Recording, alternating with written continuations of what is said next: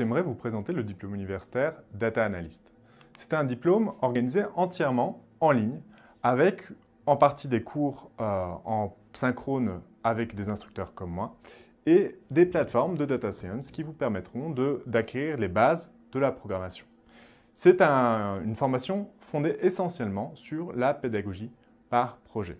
C'est-à-dire que pour une heure de discussion ensemble où on va présenter des concepts et voir, enfin, examiner votre travail, vous avez trois ou quatre heures chez vous à travailler en autonomie sur la base, sur l'analyse de jeux de données.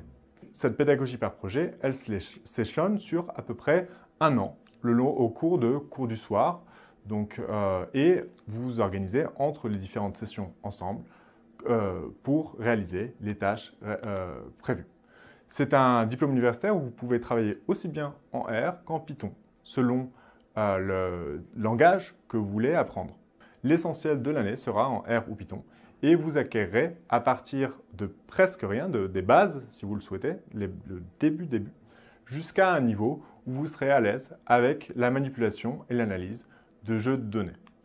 Et donc, en termes de public, ça s'adresse à des personnes en reconversion ou des personnes qui veulent évoluer dans leur métier, puisqu'il y a énormément de demandes sur le marché de l'emploi en termes de data analyst, et vous aurez un niveau data analyst junior à l'issue d'une année de formation.